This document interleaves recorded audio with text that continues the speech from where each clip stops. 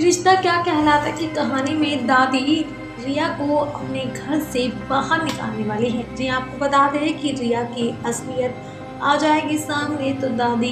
खुद वो फैसला लेगी जिसके बाद रिया का वजूद नहीं होगा कहानी में जी हाँ रिया ये है एक अलग ही मकसद से जहाँ वो कार्तिक से शादी करना चाहती है और उसकी प्रॉपर्टी को हथियाना चाहती है और इसी सपने के साथ सुरेखा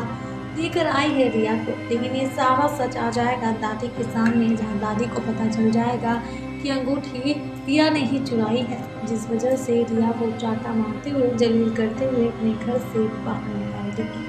मलागे की तमाम डिटेल्स यूँ ही पहुँचाते रहेंगे अपनी नेक्स्ट रिपोर्ट के जरिए